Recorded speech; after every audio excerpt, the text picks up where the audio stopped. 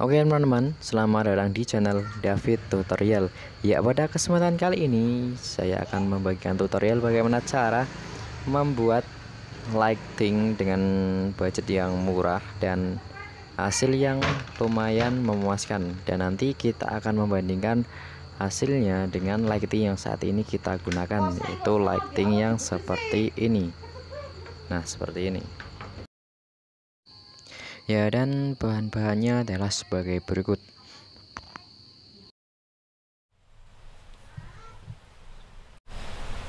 Ya oke teman-teman.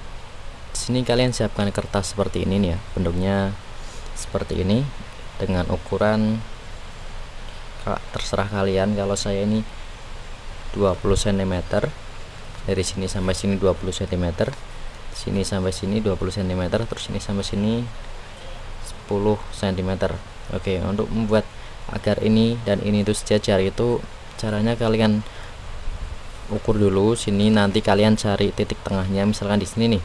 Nanti di tengahnya kita cari lagi di sini. Terus di sini misalkan kita mau 10 cm jadi di tengah ini 5 nanti ke kiri 5 cm ke kanan 5 cm habis itu dipotong udah selesai. Dan buat seperti ini 4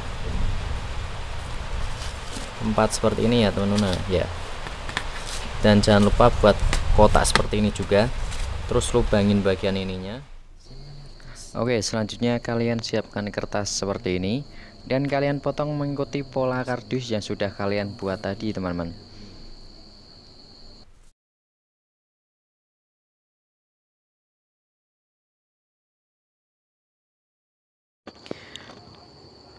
Oke setelah kalian tempelkan kertas yang tadi kalian lem masing-masing bagian kardus dengan menggunakan lem lilin. Apabila kalian tidak ada alatnya kalian bisa membakarnya dengan korek api. Tapi alat ini murah harganya cuma sekitar 10 ribuan.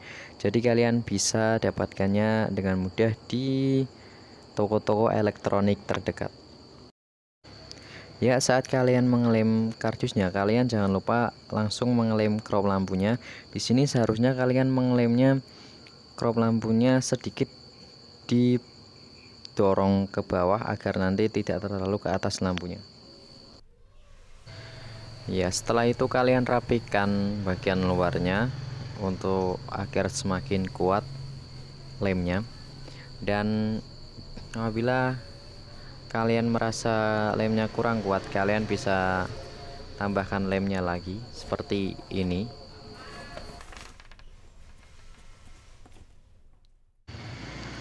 Ya, dan setelah itu kalian buat dudukan untuk standnya. Di sini karena saya menggunakan stand mic, jadi saya meng, jadi kalian bisa lihat ya di sini ya, saya menggunakan beberapa kardus dan nanti atasnya itu dikasih bolongan untuk mur atau bautnya supaya bisa nempel.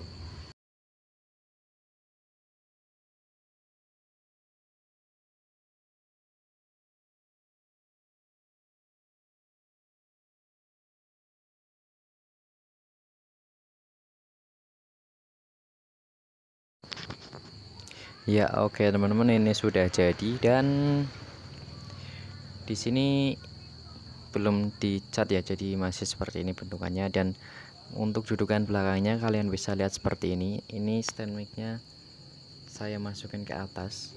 Dan nanti di atasnya kita kasih mur. Ini ya dikasih ring apabila terlalu besar.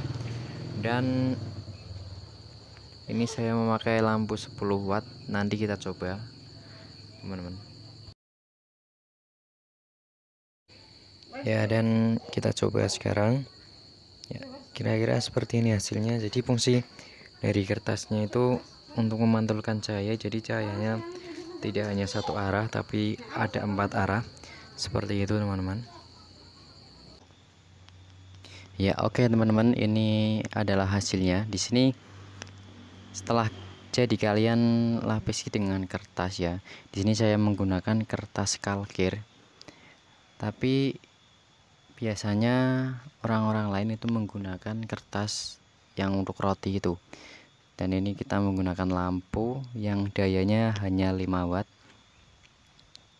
Oke dan ini enggak saya tutup secara rapat karena nanti akan diganti.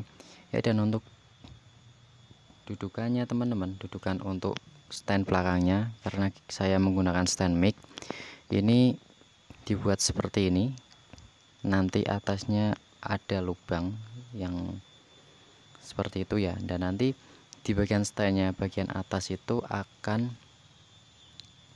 ada bautnya ada nanti bautnya muncul di situ. Dan setelah itu kita akan kasih ring dan terus dimur gitu teman-teman. Dan sekarang kita langsung coba aja ini untuk lighting yang sudah kita buat tadi hasilnya seperti ini.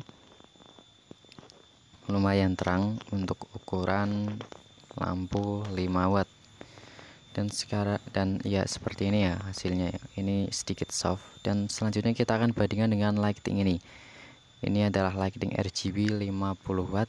Ini bukan lighting yang kita gunakan kemarin ya karena yang kemarin itu seperti itu. Dan ini adalah hasilnya dari lighting RGB 50 watt ya dan Sekian dulu video dari saya. Terima kasih. Semoga video ini dapat bermanfaat buat kalian. Sampai jumpa di video-video lainnya. Terima kasih. Wassalamualaikum warahmatullahi wabarakatuh.